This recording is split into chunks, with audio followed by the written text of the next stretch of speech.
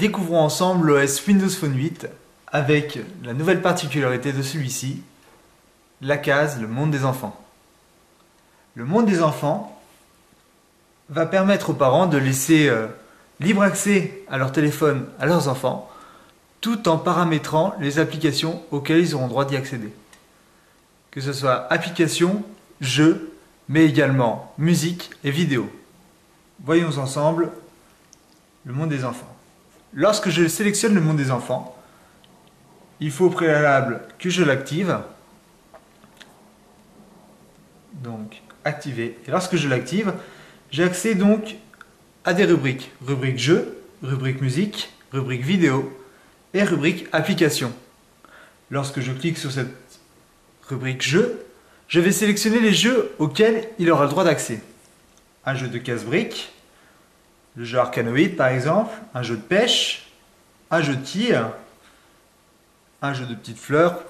Voilà, j'en ai sélectionné pas mal, il pourra bien s'amuser avec. Il suffit simplement que je le valide. Également la même chose pour les applications, donc je vais choisir les applications auxquelles il aura un accès, donc la lampe torche, la caméra, la calculatrice, pourquoi pas.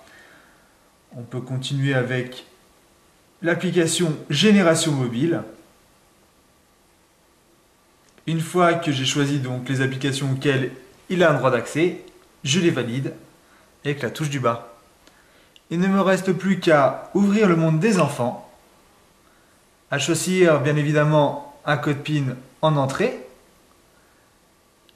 et à laisser le téléphone à mon enfant. Celui-ci ne pourra pas utiliser les touches du dessous pour aller sur l'écran d'accueil ou faire une recherche.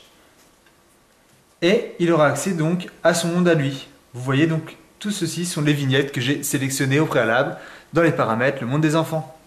Ils peuvent même, à leur guise, personnaliser leur vignette en utilisant une belle couleur. Bien évidemment, ils peuvent aussi choisir une photo pour leur écran d'accueil avec de beaux ballons.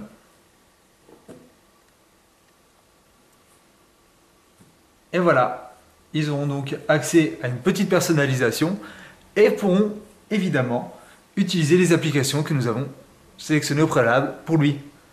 Ainsi, le parent est plus serein, il sait qu'il n'aura accès qu'à certaines applications qu'il aura sélectionnées, y compris les musiques et les vidéos, pourra ainsi bloquer les vidéos auxquelles il n'aurait pas accès et qui pourraient heurter sa sensibilité. Et lorsque l'on veut quitter le monde des enfants et retrouver son mobile en mode normal, il suffit de l'éteindre, puis de le rallumer. Entrez votre code PIN et vous retrouvez donc votre téléphone.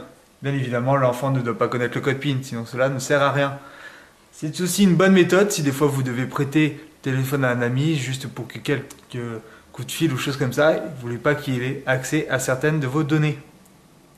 Voilà, j'espère que cette vidéo vous aura éclairci sur euh, l'application de Windows Phone 8, donc Monde des enfants.